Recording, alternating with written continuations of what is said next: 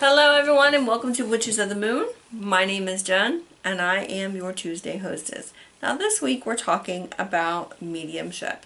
And for some of you who that know or some of you may not know if you're new to this channel, I am a psychic medium. So mediumship is something that's part of my everyday world. Um, I am also a paranormal investigator so I use this when we go to investigations. I help others I help others to gain closure um, from the loss of loved ones and I'm also help, able to help figure out what's going on in a home. Um, so there are, you know, different ways that you can develop your mediumship. Um, you can do it one by meditation, obviously. Developing your clairs is another one, um, and figuring out which is your strongest is really good too. Now if you're clairvoyant, you may see them with your own physical eyes, um, or you may see them um, like a movie playing in your mind's eye. Um, in your mind, you may see that. So again, with um, clairaudience, you may physically, you may hear them with your human ears, or you may hear them with your psychic ears. Now, everybody has psychic abilities. We all have them. Um, some have a little more than others, but we, for the most part, all have them. It's up to us of whether you we want to develop them or not. Um, you know, not everybody is really a medium, although we have the ability to connect to our loved ones, something that we can learn to do. But even if you're born as a medium, like I was and like others were, you, there are still things that you need to develop so that you can learn how to do readings properly and, um, you know, what the signs and what the symbols are. And so that's very important. Um, for some people, meditation is going to be very important to you. Um, so for some people, they need to meditate before they um, do any type of readings or anything else. And I'm one that does not need to do meditation in order to connect to the spirit world. Um, I do meditation for other reasons, but it's not necessarily to connect to the spirit world. When I'm doing a meditation or listening to meditation music, it's normally because I just need to calm and center. Pretty much. It means that there's a lot of things going on around me and I really need to hone it in and to focus. Um, I guess you could say I have a little bit of ADD or ADHD, um, which you know a lot of um, a lot of psychic psychic mediums do have anxiety and a lot of other types of issues, um, whether it be part of the spectrum um, with textures and that kind of thing, which I do have. Um, I do have issues with textures when it comes to certain foods.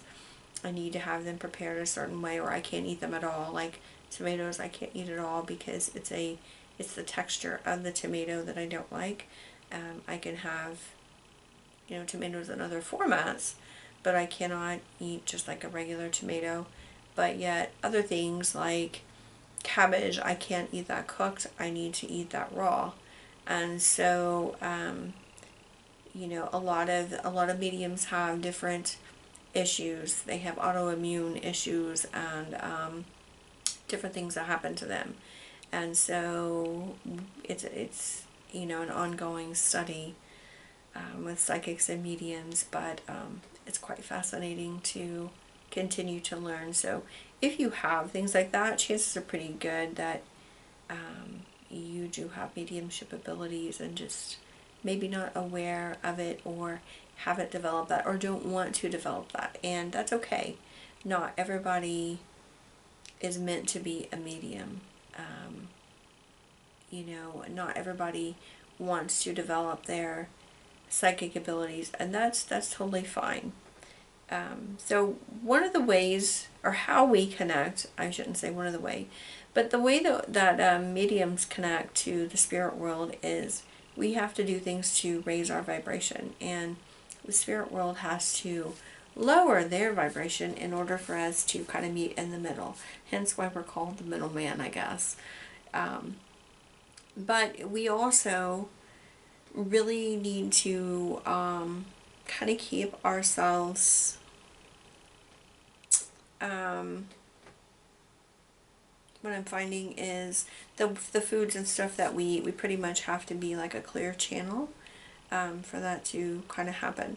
But ways that you can raise your vibration is singing and dancing and painting and you know doing whatever makes you happy and makes you feel good. That's what you want to do in order to raise your vibration. Um, so there are um, a couple of other ways that you can practice mediumship. Um, you can do channeling or automatic writing. You can semi-trance channel or full trance channel. Um, that does take some practice as does automatic writing. It's not something that you can just sit down and automatically do, even though it says automatic writing. it's It does take a little bit of work and you do have to learn to give up control and um, so that does take work. There's also remote viewing. Um, that's another great topic and um, something you might be interested in later on down the road. Um, there's different ways that you can tap into the spirit world by using different types of divination. There is tarot or oracle cards, um, dowsing, which also includes pendulums and that kind of thing. Um, scrying is another one.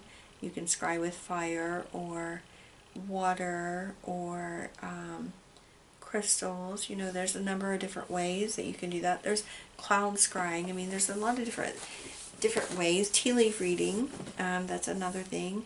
Um, Reiki is another great way to um, kind of connect to the spirit world. And, um, you know, mediumship is fascinating in itself. There is a mental mediumship and there's a physical mediumship. Um, the physical mediumship is more um, your automatic writing, your channeling, and, and that kind of thing. Your mental uh, mediumship comes from just um, knowing things, you know, um, your clairs basically, the clairvoyance and the clairaudience and, and so on. You know, that's really what that's all about. And so um, I actually do everything but clear tasting. That is the one thing. And I think the reason why I don't do that um, could be because of the texture issue thing that I have.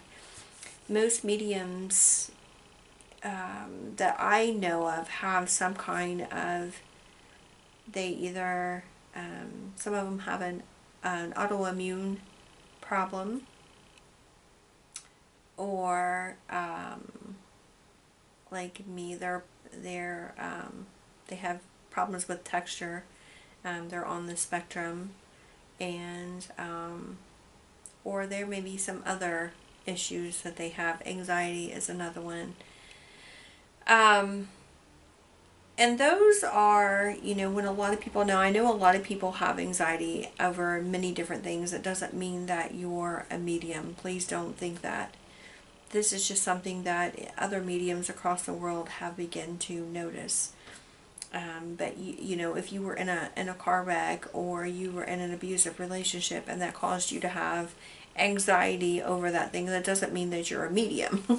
don't don't take my words and twist them. That doesn't mean that you're a medium.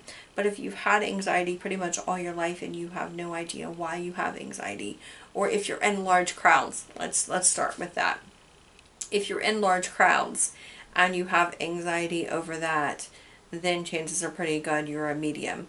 Um, just like Teresa Caputo, she um, would go to school and she would see all of these beings and stuff, so that kind of freaked her out. And I can relate to that because it happened to me when I was seven, and um, yeah, that does kind of freak you out.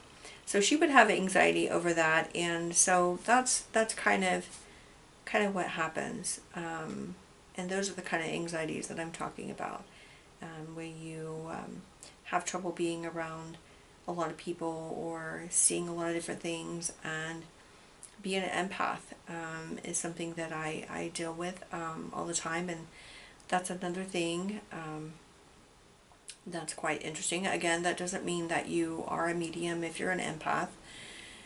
Um, but most mediums that I know are also empaths, and um, so it's quite interesting to kind of explore and to learn. And um, yeah, so there's kind of that. You know, as a medium, we deal with signs and symbols, and that's something that you know everybody needs to learn to develop so that they understand okay well when i'm seeing a police badge does it mean that it's an actual policeman or does it mean that this person um, you know was related to somebody that's a policeman you know that kind of thing and i'm just using that as an example i mean if i was to see a shield i would know right away that this person was a police officer or the person that I'm talking to at that moment, the reader, is actually, or the one being read is actually the policeman. Um, so that kind of thing. That's that's kind of how that works.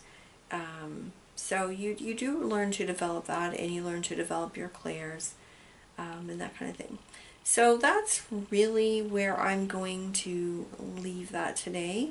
Um, if you have any questions about mediumship, please put them in the comments below. I will be more than happy to answer your questions. Um, if Or you can go to Facebook and ask me questions. You can ask me on Witches of the Moon page. You can ask me on um, Professional Paranormal Investigations page. Um, or you can go to the website professionalparanormalinvestigations.com and send me a message there or to intuitivejenhodgson.com and you can leave me a message there or if you're interested in um, taking any courses or anything that would be the place to go. So on that note I'm going to let you go and I hope everybody has a great day and I will see you next week in the next video. So bye